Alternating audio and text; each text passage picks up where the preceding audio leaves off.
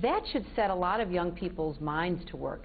Like, what can we do in our own lives? I mean, simple things like turning off lights and being more energy efficient and putting in, you know, more energy efficient light bulbs and just being more conscious of the impact we have on the earth. And then also banding together uh, and creating, you know, groups, empowered groups. I gave a speech uh, just uh, now at the university, and I said, look, young people today have so much power that they don't exercise.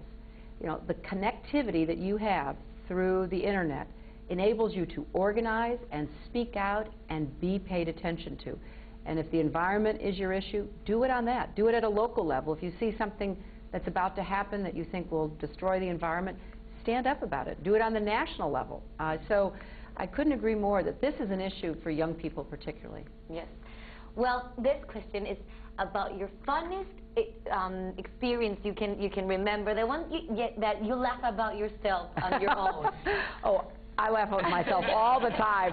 Uh, but, you know, I wanted to just mention how much I love coming to Mexico, and I've had so many fun experiences. I spent my honeymoon in Mexico, and my husband and I have come back to vacation in Mexico, so we've had wonderful times. And then, of course, coming officially when he was president, and now I'm coming back as Secretary of State. So when I think about um, having just a wonderful experience, I think often of those times in Mexico. And I, you know, look forward to coming back, you know, often, uh, both for pleasure and uh, on behalf of my country. Okay, cool. Now, uh, this is a music channel, so this is a music question. It, what do you think about new musicians? Do you, do you have any in particular, any new band that you really like, that you enjoy it? Well, my idea of new and yours is probably like 10 or 20 years out of date. I mean, if you look at my iPod, you'll be wondering, where's this woman been for the last uh, 10 years? Now, my, my daughter and her friends are really into new music, and she actually has uh, some young friends who are uh, musicians and trying to break in and all of that. But I, I don't know whether it's because the music that you enjoyed when you were young is the music that's like imprinted in your brain. Uh, you and I were talking about the Rolling Stones yeah. uh, before we started, and I, I know them, and you know I, I remember the first time I saw them, cool, which was when I was in high school, and they came to the United States. And, and you know, so for me, I mean, I listen to classical music when I work. I love classical music. It helps to keep me calm and gets my mind working. And then, you know, just for fun around the house, I sometimes listen to opera. I listen to sort of the oldies but goodies that uh, the 60s and the 70s were part of my growing up. And I, you know, I'm just, I, I don't really seek out new music so much anymore because I get so much satisfaction and, and joy out of listening to music that I love.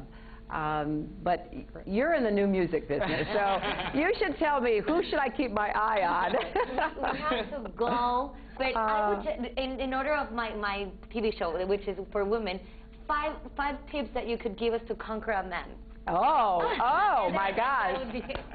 well, I, you know, I, I believe in equality, so I don't think we want conquerors and conquered. Okay, I okay. think we want yeah, sure. we want relationships of equality, of you know, really uh, partnership and friendship as well as romance. I mean, that's the kind of lasting uh, relationship that you know I've seen over the course of my life that really sort of stands the test of time. So, you know, I, I think it's it's important though that that that you like the person you're with, okay. you know, and that you have a lot in common, and uh, that you recognize, you know, sometimes people say, well, relationships are a 50-50 proposition.